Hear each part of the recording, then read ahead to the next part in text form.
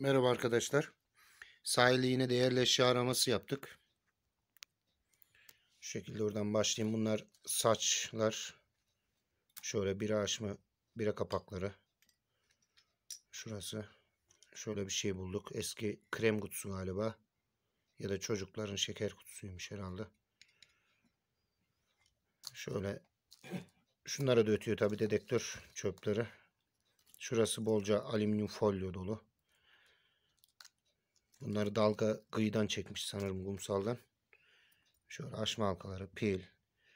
Şunlar çiviler bolca. Şöyle bir tane pim. Şurası bozuk paralar. Şöyle. Genelde eski. Birkaç tane yeni var arasında. Geri kalan hepsi eski paralardan. Zaten kapkara olmuşlar. Şöyle şu kısma geleyim. Şöyle bir künye bulduk. Pirinç büyük ihtimal. Gümüş değil. Kararmış ve hafif küflenme var. Şöyle bir tane demir yüzük. Şöyle bir kolye var.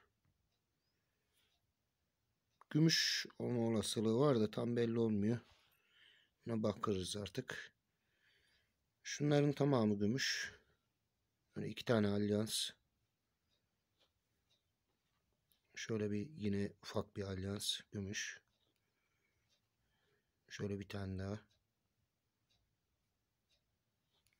Bir tane de şu şekilde. Bunlar da hep kapkara kararmışlar. Uzun süredir suyun altındaymış anlaşılan. Dalga karıştırdıkça çıkıyor. Şu şekilde bir tane 18 ayar alyans 2-2,5 gram civarı ve son olarak da şöyle bir künye bulduk. 14 ayar. Ayar yazılıyor. Okunma çok küçük yazıyor şurada başında. Videonun devamına fotoğraflarını da yüklerim arkadaşlar. Abone olup takipte kalmayı unutmayın. Şimdiden teşekkürler